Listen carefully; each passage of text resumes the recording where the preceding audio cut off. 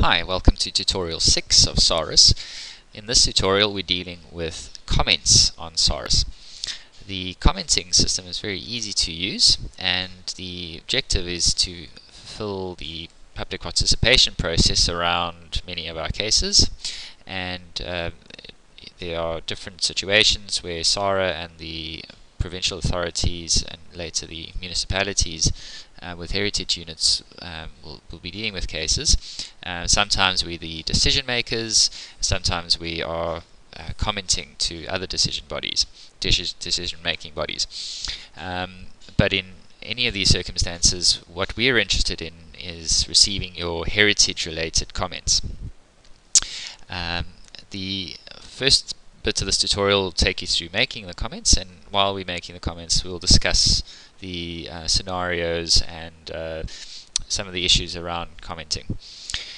First thing to do is log on to SAHRIS, so create an account, and anybody can comment on a case, and there are three tiers or different types of commenting um, modes, if you like. You may be a committee member on SAHRIS, um, and your comments are then used to formulate decisions. Um, you, you might be a registered conservation body, on SAHRIS, and uh, your comments are then in a certain block, as we'll see in a second, or you are a general member of the public uh, interested in the case, and you are then also able to make a comment. Um, this process is exactly the same. So the first thing you want to do is find the case that you're interested in. Often people will find a case on Google um, that's come up on SAHRA. So if, you know, for instance, we Google um, the uh, Jagersfontein mine, the Free State, which is the current case. You can look that up. Uh, the old IP address of the server shows up because this, when this was first cached on Google, uh, our IP address was running in, instead of our domain at the time. So you can then hyperlink to the case, or we might pick up something like the Makwa Solo farms. Um, and you'll notice the links come up. Um, there's various cases there. Um, if we, these are all um, decisions actually. So let's take, um, uh, say, full clip. Perhaps that'll come up. Um, with the case. Um, right. Yep, that's fine. Let's uh, take this one. Okay, and then this is case ID number 80. Okay, so I'm simply going to search for number 80 and I'm going to pick heritage cases. Okay, and I was interested in the full clip. In fact, it's probably easier just to do by the name. Full clip, and I'll retain the current filters. Great. Right, so we've got our case um, and we'd like to pass a comment in this case.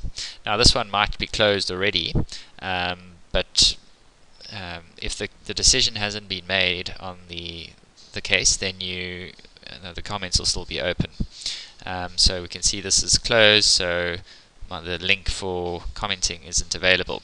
So that shows you once the case officers have gone through the process and they've made their decision, uh, you are not able to comment anymore. Let's pick a case that I know is open. This is just a demo case. Okay, Samoila. Right, and you'll see at the top left are the open cases. Have the add new comment link, and you simply click on the link. Let's just close that while we wait. Right, so you'll see the case name, and just below that is a link next to the read count, add new comment. So it's as easy as that. So read through all the documentation, there's previous decisions and letters, there are permits maybe related to the case, um, there are heritage reports that you can download if you go in there, there's the just other decision makers, um, references, the EIA documentation will be attached to additional documents. Um, the map is under location info, and the case officer, the states of the case, the meetings that passed uh, for this case, and then what we call the inventory link. So if this is linked to a site or an, an object or series of objects, then the case is linked to those heritage resources. Um, but often in development cases, you uh, only record the, the heritage resources um, a bit later um, in the process um, if you don't know, if you've never surveyed the ground before. So uh, down at uh, case header, we can see previous comments. Um, so this one is the um, same account I'm logged into is at the moment, a test account. It's just a general public co comment. If I was a registered conservation body in my role, then I would my comments would be, uh, be flagged into the registered conservation bodies block. Let's make a comment. Add new comment. Right, and then it basically just pops up a little box below the case, and I enter my comment. So uh, this is a test whoop, comment. Great. Now, ag again, we really insist that the comments you make have something to do with heritage-related issues. Um, this system is not for inquiries around um, environment or the bats and so on, unless they have some kind of heritage significance. Um, so um, your comments related to other issues, perhaps it's water issues and so on, should go to the relevant departments like Water Affairs or the directly to the EIA consultants during their public participation processes if this is a Section 38.8 case um, in terms of the NHRA. Um, so there's a whole complexity around comments, which I'm um, just alluding to. Um, so you know, there's a lot of information. You can contact SAHRA um, or your the consultant running a particular case um, for more information around that. But this portal is really around heritage uh, comments only. So these are then used um, in making the decision or the comment, the formal comment from SAHRA or from a, a provincial heritage authority.